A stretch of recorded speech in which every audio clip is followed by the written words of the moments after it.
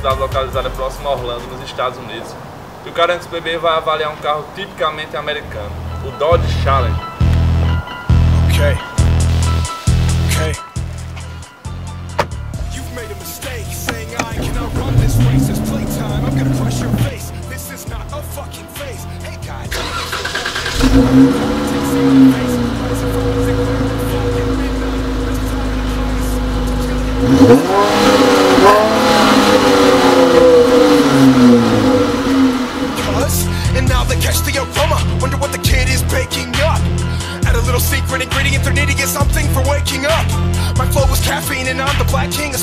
Smaller cards, and that scream you hear is mad heat. I am the daddy of cracking the bones of the flashiest chic.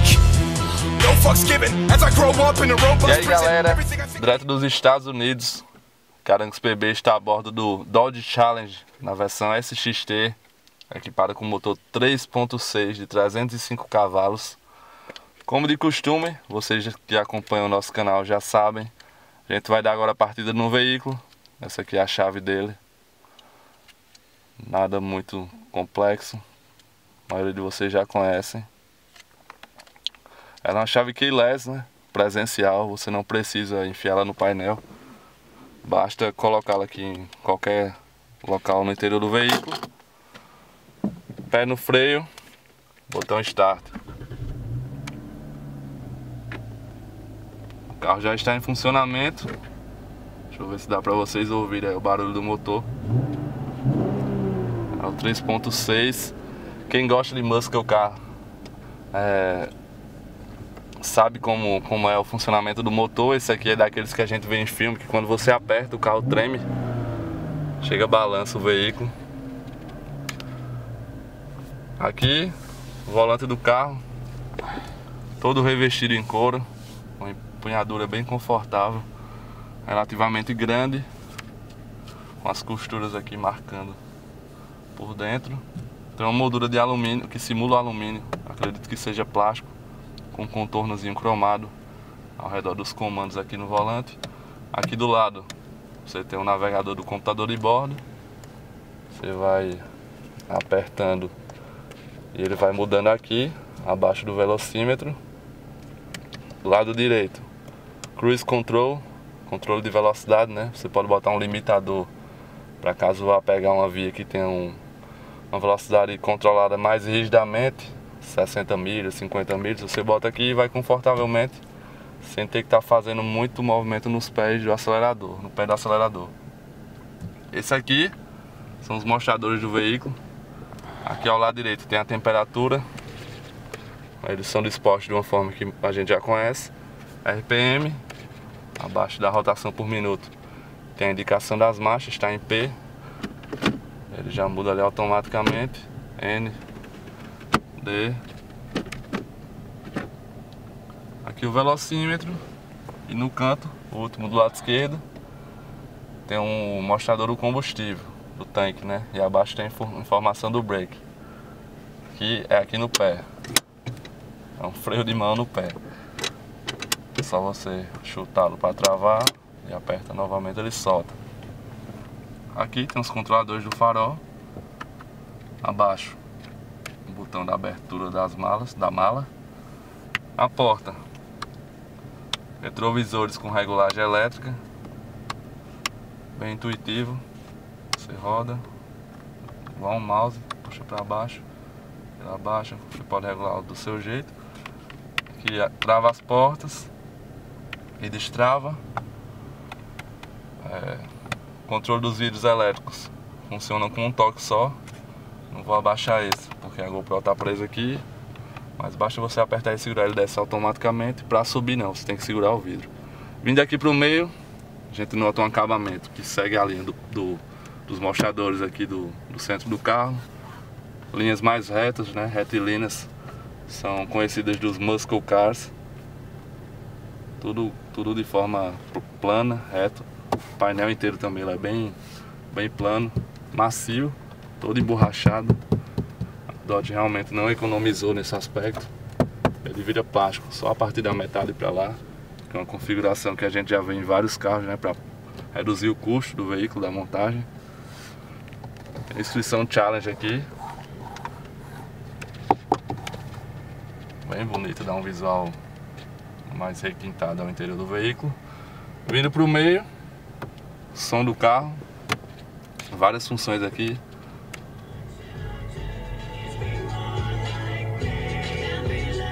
Um som de bastante qualidade, diga-se de passagem.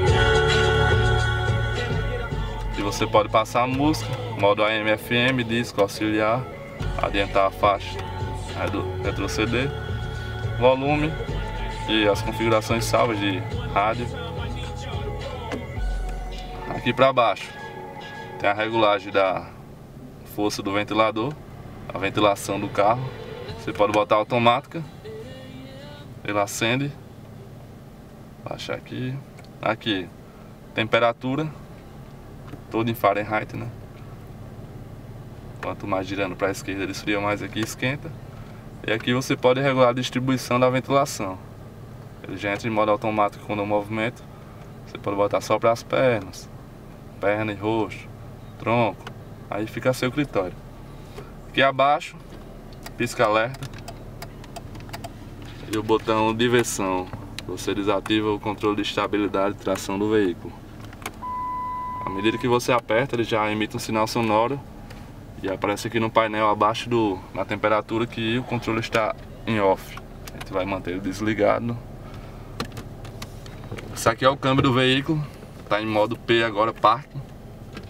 Tem a ré, o N, o D e o D sequencial. Você bate para a direita, aí você pode fazer o controle das marchas. Você já sente o carro mais na sua mão, os giros mais em alta Bate para a direita, ela leva a segunda, terceira, para a esquerda você reduz. N novamente. P é um câmbio de 5 marchas, que funciona em conjunto com o motor 3.6 aqui do carro. Gera 305 cavalos. Então aqui no interior é basicamente isso. O veículo é espaçoso. Quem está aqui na frente fica com conforto, o passageiro também. Quem está no banco de trás, é mesmo que seja um sofá, a mala é grande, bastante grande. E agora a gente vai andar no veículo e falar para vocês as impressões do carro em movimento. Lembrando, a gente está no, nos Estados Unidos, tem que respeitar o limite de velocidade, não tem como a gente ficar acelerando bruscamente nas ruas. É, vocês vão sentir um comportamento dele na estrada, velocidades até 110 km, reduzida, torque. Vou passar a Wagner aqui pro, pro lado do motorista eu vou ao lado falando das impressões, já dirigi o carro por mais de 100 km, quase 200 km até aqui. Vamos lá, galera!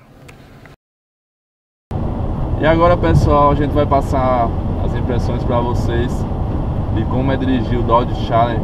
A gente tá pegando a estrada aqui, de onde a gente tava gravando as cenas iniciais em Celebration. Agora com destino a Orlando, dá mais ou menos 50, entre 40 e 60 quilômetros. Eu tô aqui no passageiro, eu vim trazendo o carro e agora vai, né? Vai ao meu lado dirigindo. Esse carro, um carro pesado, bem grande, como eu falei já no começo, espaçoso. Para levar todo esse peso, tem um motor 3.6, 305 cavalos. V6. V6, é. V6 não. É, você pisa, ele responde. A gente não tem como é, passar muito daqui da velocidade. Tá quanto agora? 65 milhas. 65 milhas, embaixo dá quantos quilômetros? 100 e... 120. 120 quilômetros mais ou menos agora. Isso. Então você sente que o carro, mesmo sendo pesado, o motor responde bem, né? Fica aquele carro amarrado, você mete o pé ele já, já quer andar mesmo, a gente não passa da velocidade porque aí dá problema. Essa vez agora a primeira vez que eu estou dirigindo nos Estados Unidos muita gente aterroriza, né? Quando você vai dirigir a primeira vez nos Estados Unidos, você fica aterrorizado. Acha que qualquer, qualquer coisinha você vai ser preso, a polícia vai encostar. Realmente é muito mais rígido que no Brasil, mas você respeitando o limite de velocidade, a sinalização, os sinais, não vai ter problema, né, vai? É, aqui todo mundo vai lhe dar a ver se você der a seta, todo mundo vai deixar você passar. Aqui nos cruzamentos a gente é por ordem de chegada, não é como no Brasil, que vai passando quem estiver na fila. Aqui se você chegar na, em terceiro, você vai ser o terceiro a passar, não tem Ninguém atravessa a vez do outro, né? Isso. Lá no Brasil quem manda é a pressa. Se você tiver com pressa, você entra, sai cortando aqui não. Placa de stop. Pare, né? 3 segundos. É, mesmo que não venha carro, você tem que parar obrigatoriamente. Mesmo que você esteja num, num lugar deserto, abandonado, se tiver a placa stop, você tem que parar. É, é bom porque até vira costume, né? Porque se você deixar de parar quando não tiver carro, vai acabar uma vez que tenha carro e você vai passar por perder o costume. Essa grama aqui ó, é tudo polícia. A gente não tá vendo, mas. É, aqui é assim. Parece que ele sai de dentro do mato. Se você fizer uma barbeiragem aqui, eu não digo nem andar rápido, é, passar do limite de velocidade, porque se não tiver radar, né? Às vezes o pessoal ultrapassa o limite, mas eu digo em estar tá cortando o carro, é, dando acelerada brusca, tipo, a gente gravar um 0 a 100 aqui é impossível.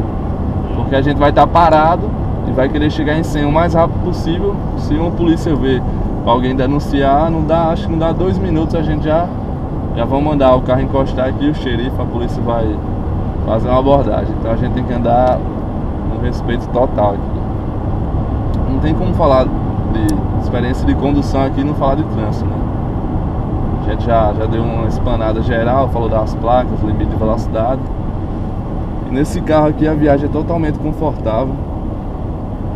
Eu vim dirigindo, a gente fez percurso rapidinho, inclusive passou da entrada. Rodando tranquilo. Tá marcando quanto aí o consumo?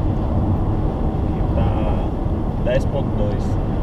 Impressionante, né? O consumo médio, a gente zerou a quilometragem quando pegou o carro.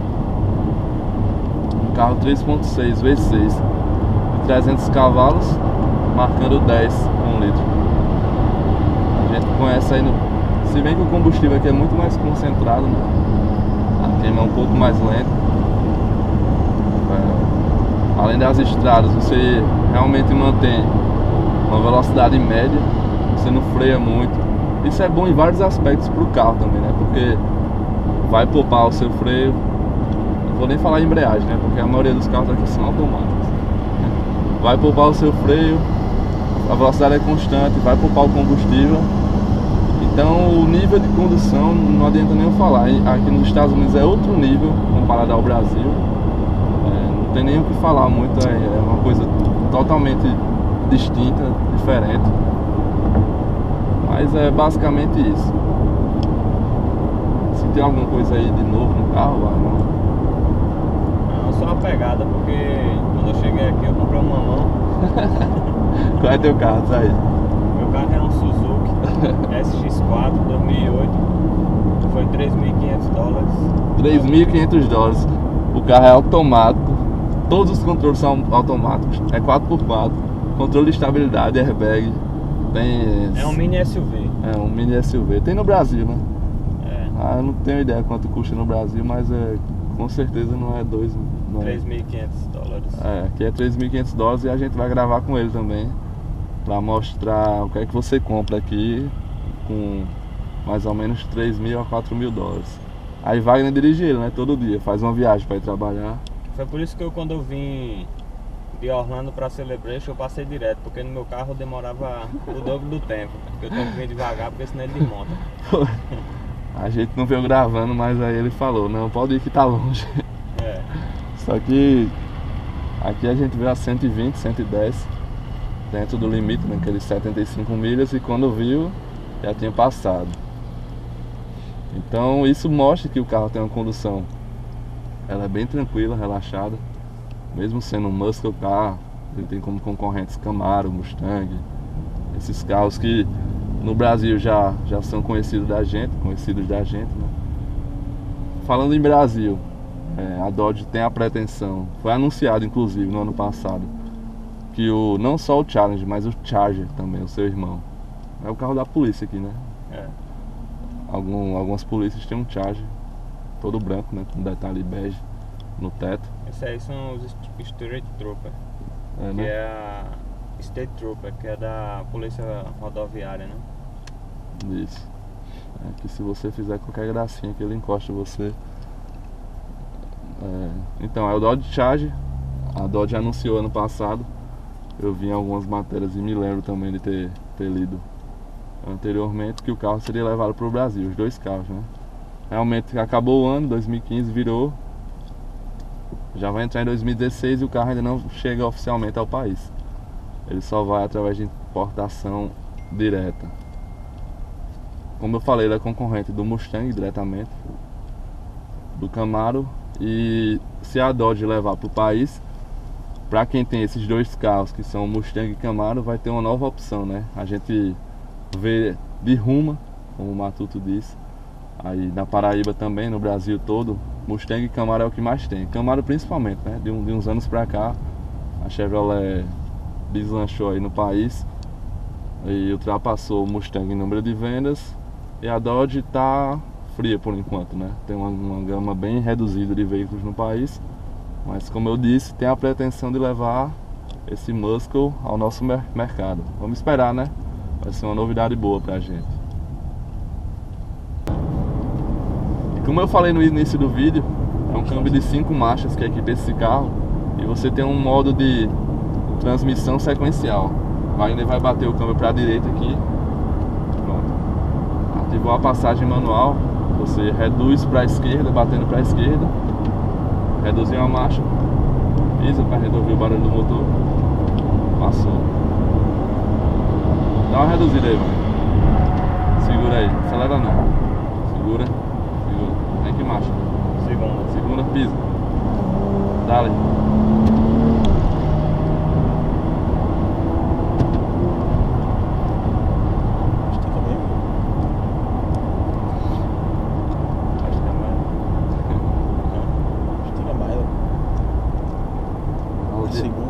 diabinho lá tentando aqui atrás. Que marcha agora? Terceiro. Terceira, bota segunda. Bota, dá uma, dá uma distância desse Segundinha. Segurou, reduzida. Vai. Eita, polícia. Bombeiros. Eita, sai da frente, vai ter que acelerar pra sair da frente.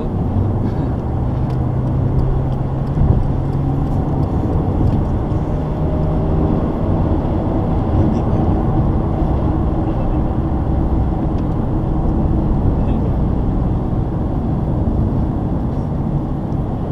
Isso também. Vai entrar aqui, esquerda. Sim, lembrando também, é, quem faz o contato do, do carro com o asfalto são os pneus 235 5518. Então é um perfil que nem é, nem é tão fino, nem é tão espesso. É um meio termo, fica bem confortável aqui no interior do carro. Você não sente os impactos da rua de forma alguma. Além do mais que tem a suspensão independente, né? Como a gente sempre comenta nos vídeos, é um novo nível de condução, de conforto. Quem ganha é a gente que está no interior do veículo. E aí pessoal, estamos chegando ao final de mais uma avaliação. Hoje foi bem diferente, né? A gente está nos Estados Unidos, agora já em Orlando. Nosso vídeo de hoje foi com o Dodge Challenge SXT, motor 3.6, 305 cavalos, ano 2014. Queremos agradecer primeiramente ao grupo New Sedan, que apoiou esse projeto CPB Viagem, com destino aos Estados Unidos. Agradecer também a todo mundo que está assistindo os nossos vídeos aqui no canal. É, vocês que estão vendo os vídeos até o fim, completo, né? Aguentam as nossas conversas até o final. Quem gostou mesmo, como a gente sempre pede, clica aí embaixo no botão gostei, dá aquele joinha. Fiquem à vontade para deixar um comentário, compartilhar os vídeos com os amigos aí. Manda para todo mundo. E é isso, galera. Em breve tem mais vídeos para vocês aqui no canal. Valeu, até a próxima. Valeu. Valeu.